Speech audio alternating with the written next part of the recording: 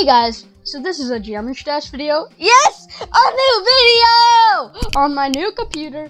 And so I have, uh, I'm, I like to do this challenge, and uh, I'm gonna do a challenge, and uh, yeah, and it's gonna be, I'm gonna one attempt, or like try one attempt on every um, Geometry Dash level.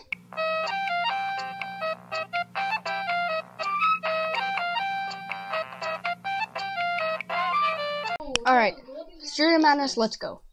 I think I can one attempt this easy.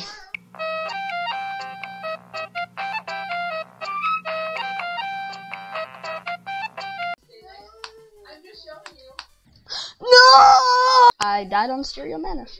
Back, I beat Back on Track, Polargeist, then Stereo Madness, so I have high feelings for this one.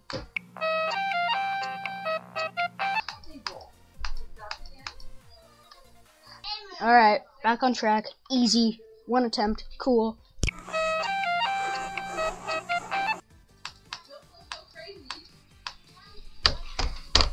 Alright, let's go dry out. Can't let go of video, you would know that.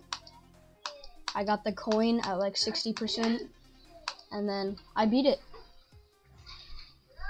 This part is kind of hard. I do not like upside down stuff, especially upside down wave. Like wave is my favorite difficulty, but when you put it upside down, uh-uh. Spider can be my favorite difficulty. Oh, I thought I was done there, so I like lift my hand off the mouse. Can't let go. I have a feeling I'm gonna die here. Jumper. Oh yeah, um, I recently got um 96% on the nightmare.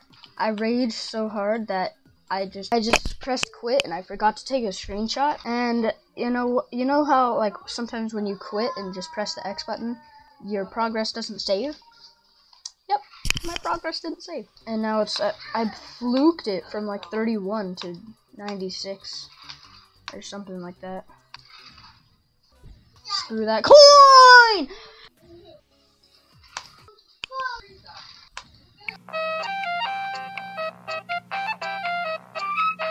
Blast. This is one of my favorite levels ever. The first level I actually played on my channel. I should have died there. Try arrow key. Arrow key actually works. Last one is Fingerdash.